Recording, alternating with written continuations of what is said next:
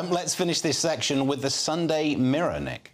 Yes, they have got, uh, well, Davina, My Wild Party with Rita Ora, which we're going to focus on for about 20 minutes later in the show. Join Slimming World for free. I'm not aiming that at anyone, that's just there. Okay. And the other one they've got, which we might tackle now, is 175k asked, why do the Royals exist? And they've asked 175,000 randos, just random people, and it's never a good idea. Subjects. Yes. why? Subjects, exactly. You can't call them that, it's already weighted, but and they've asked them, should the roles exist? But the, the, questions kind of lead them in different directions. Is questions are like, why do you think, what do you think the main role should be? But it suggests certain options, like to support and encourage public service in charitable sectors, or to provide a sense of continuity and act as a focus for national identity, or to be the supreme governor of the Church of England. Probably a lot of people will learn for the first time that that's what the royal family does, and go, oh, that one, yeah, that sounds good. Yeah. So it kind of weights it a little bit already. And it also asks them how often they visit a library, have listened to a podcast in the last year, maybe the Weekly Skeptic, and whether they have a smart speaker in their house, which is odd.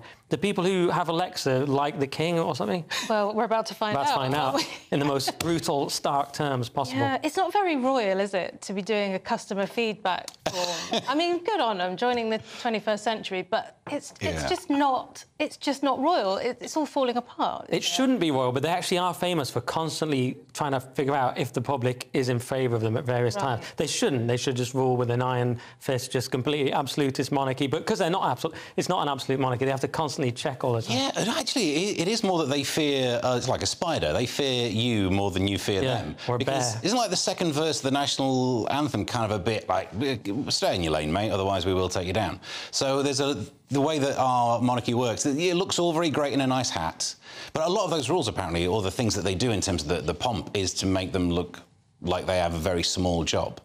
Right, they're not in charge of anything anymore. But the only thing I was going to say about this story is 175,000 people, a lot of people to survey. It's just a shame it won't make a blind bit of difference. As if we all tick a box and the king goes, well, I'll do that then.